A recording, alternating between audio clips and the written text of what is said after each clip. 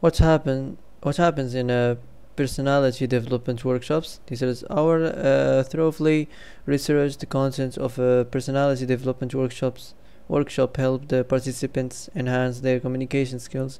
uh, hone their uh, pronunciation skills